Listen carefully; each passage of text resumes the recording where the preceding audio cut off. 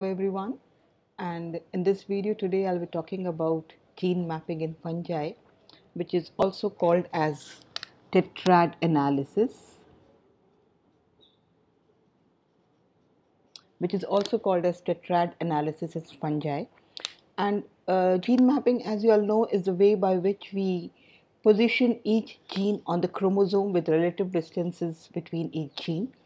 And in this way we can we can have an idea about the linkage and the linkage groups.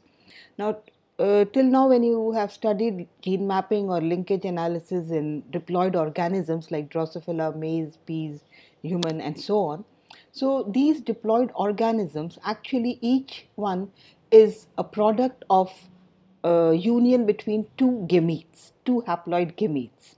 Okay, and these haploid gametes are products of meiosis and we all know that each meiosis gives rise to four haploid spores. So therefore, fertilization in a diploid organism is between one random gamete of that uh, meiotic event with another haploid gamete of another meiotic event. Okay, and we have no idea, or we cannot uh, just by looking at the product, we will not be able to tell from where this has come from okay? Now uh, but in fungi the difference is that these are all haploid organisms. For most of the life cycle they remain as a haploid organism and they undergo vegetative reproduction. And each haploid organism is actually uh, each of these sorry each of these uh, spore okay it is representing the meiotic product so here we are able to visualize all the four haploid meiotic products and also uh, the there is no dominance. So therefore the genotype is reflected in the phenotype, right? Another advantage that fungi gives is these uh, spores that we have they have these spores have a visible uh, mm, structure okay you can uh, differentiate between two spores also, there are a lot of nutritional mutants. So, therefore, you can uh, study the genotype by just looking at the growth conditions. The two important fungi which are used for analysis in tetrad analysis or for most of the studies, they are Saccharomyces cerevisiae, which is commonly called as baker's yeast, and Neurospora crassa, this is bread mold. When you leave a bread, you see the mold growing, so that's Neurospora crassa.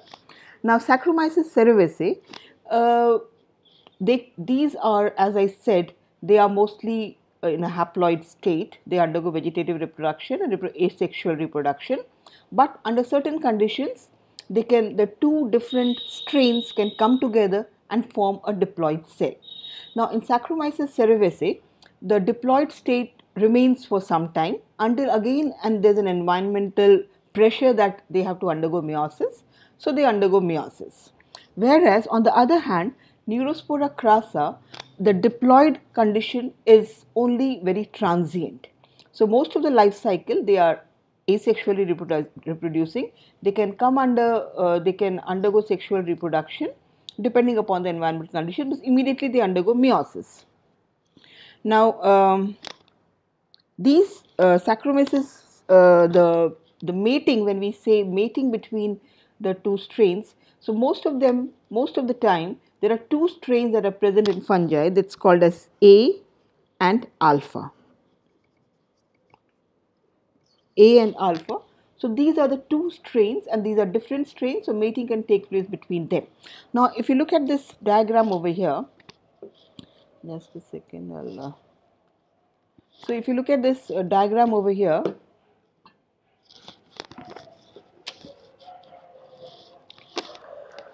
uh, let's say if this is A strain, this is alpha strain, this is the vegetative cycle for A and alpha. They undergo the spores, they can undergo uh, fusion, form a zygote. Now this zygote in Saccharomyces cerevisiae remains for some time and then it can undergo meiosis and gives rise to four spores. Now in fungi the advantage is that these spores they are held in a sac like structure called as ascus. Okay? And therefore these spores are called as ascospores They are called as ascospores. Now you can see over here that all the four products of meiosis they are held together. And when they are mature the ascus will burst open the spores will be released and they will start germinating okay? Now in uh, neurospora crassa again we have a and alpha and they undergo fusion to form a diploid state which is a zygote. Now when again as i said they are uh, they remain in a diploid state very transiently so then they undergo meiotic division. So if you have so you have meiosis 1 there are two cells two nuclei. Then in meiosis 2 there are four nuclei however the difference between uh, Saccharomyces cerevisiae and Neurospora crassa is that after meiosis second each of these spores they undergo a mitotic division. So as a result the ascus has eight spores. Of these each of these two are actually identical because they are product from one meiotic gamete. Now uh, how you will notice one more difference over here and that has a major implication on gene mapping and that is uh, in Saccharomyces cerevisiae these uh, spores are placed randomly in the ascus. So as a result, they are called as un, unordered. Okay, and this is called as tetrad. Why tetrad? Because there are four spores that are present. Now this tetrad is actually same as the one we see in uh, after uh, uh, during meiosis when the two homologous chromosome with the two two chromat two homologous chromosome each with two sister chromatids it forms a bivalent or a tetrad. So this tetrad and they are they essentially they mean the same thing. Now why it is called as unordered because the spores are arranged randomly in this sac-like structure.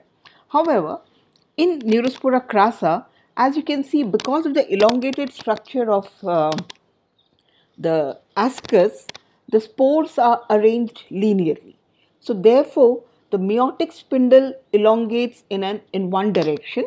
So you know that each of this product is actually coming from this particular cell, right? So this kind of uh, uh, this kind of uh, arrangement it's called as ordered. Okay. Now tetrad and this is ordered tetrad. Now ordered tetrad they have they provide additional advantages to a researcher and that we'll also see what kind of what kind of advantages produces. Now when we analyze or when we look at the genes we know that uh, uh, because they are haploid so whatever is the genotype is reflected in the phenotype now we'll look at the one example first and in this example, what we'll see is we will analyze uh, the tetrads, the kind of tetrads that are obtained when the two genes are not linked. Okay. So when the two genes are not linked, what will happen? So here what we have taken is the genotype, we are using the nutritional mutants. You know that in, in fungi, the nutritional mutants, uh, you have prototrophs, you have auxotrophs. And the convention in fungi or e fungi is that the wild type are written in capital. Okay? And the mutants are written in small letters. Okay? Now uh, so in this there are two parents. We have taken two genes. We are considering two genes which are not linked this is his it's written in small so therefore this is a mutant for histidine which means that this strain, let's say if it is A strain, okay, and this is alpha strain. So A strain requires histidine for growth whereas it's wild type for tryptophan. On the other hand, the alpha strain is wild type for histidine but it's mutant for tryptophan. And you should uh, understand over here that the two different types of chromosomes I have drawn and they are they you can uh, understand them by the way this is a straight line this is a wavy line. So when a wavy line for histidine as well as tryptophan is representing the alpha strain this is a straight line for histidine tryptophan representing the a strain. Now in a diploid condition what happens? All these chromosomes they come together. So now this has become a diploid. There are two homologous chromosomes. One is histidine they are heterozygous One is histidine uh, mutant, other is histidine wild type. This is tryptophan wild type, tryptophan mutant. Now, once they undergo as or as soon as they get ready for meiosis, they you know that each meiotic event is actually preceded by uh, DNA replication. So all these uh, chromosomes they replicate. So you have two bivalents over here, and they are held together at the centromere. Now, as you have seen for all organisms that for meiosis they are all aligned in the metaphase plate.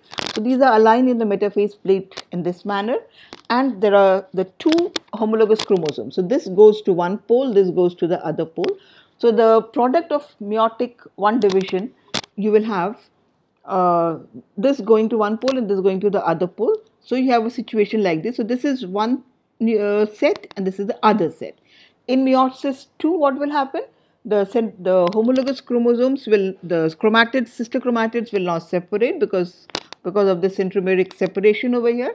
And as a result you see that you have four different sets that are produced okay?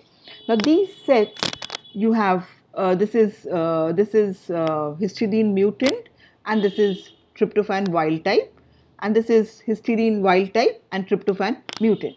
Now what you will notice over here is that this combination of genotype it's actually the same as parental right? So because this is same as parental and there are two types so therefore this is called as this kind of ascus which is formed is called as parental ditype so what you see over here is each ascospore over here is represented here like this right? So all the four spores are present and this kind of a condition where the parental combination is uh, reflected, this is called as parental ditype. Ditype because there are two types. Now let us imagine because the, the, the chromosomes are arranged on the metaphase plate randomly, so they can again be arranged in a different manner. Now in this condition what will happen? Let's see uh, the, the, the this this condition this the arrangement of this homologous this these chromosomes are now reversed so as a result, you have his, his minus and trip minus going to one pole and his plus and trip plus going to the other pole like this. Now again because of uh, uh, the segregation takes place and now what you have is you have this situation in which you have histidine minus and this is tryptophan minus coming in one cell. Okay, this is also histidine minus and tryptophan minus. These two are identical and this is histidine plus and tryptophan plus. Okay, so now what we are getting is we are getting again there are two types of spores. This is one type and this is the other type. There are two types of spores but these two are non-parental, right? These are called as non-parental because the the uh, the genotype it does not resemble the uh, parentals. So therefore this is non-parental and again it is ditype. So therefore this is non-parental ditype. Now there's another kind of tetrad that can be produced and that's called as tetratype. Now what is tetratype? Let's imagine if there's a recombination between this histidine over this is um, his this is his 4 and this is his 4. So there is a recombination between this sister chromat, these two sister non-sister chromatids over here. So you have a recombinant event. So this is now recombination has taken place. Now when recombination has taken place, eventually what you will get is, again you will get the four different spores.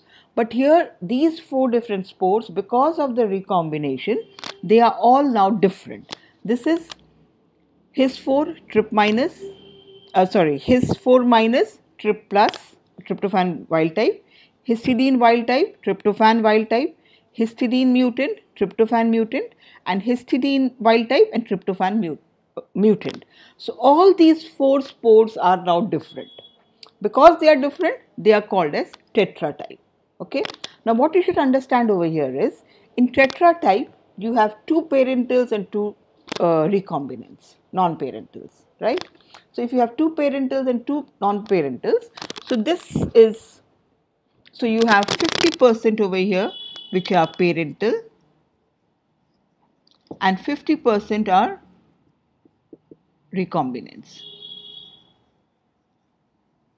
Okay. Now, how do we analyze the tetrads?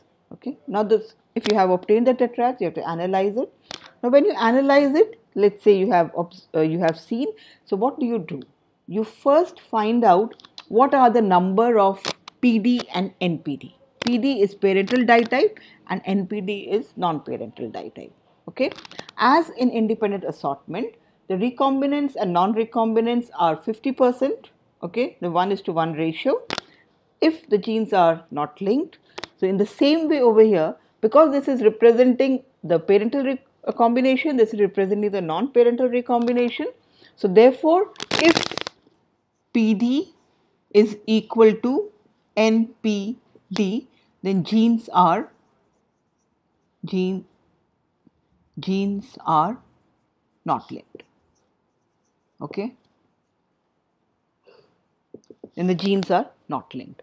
So therefore, uh, when you analyze and let's say if you have if you have done a analysis and you find let's say this is 38 this is uh, 29 okay sorry uh, 38 and 41 let's say and if 41 7 this is 31 hmm?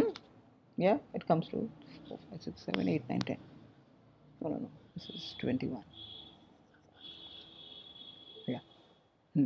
so if you have 38 you have 41 and you have 21 these are the different types of combination of spores over here so once you analyze them, you see that the PD and NPD, it's almost same. So when PD and NPD is almost same, this is called as, uh, we can now know that the genes are not linked. So this is about the condition when the genes are not linked and now we will see uh, what will happen when the genes are linked. Okay. So that will be in the following video.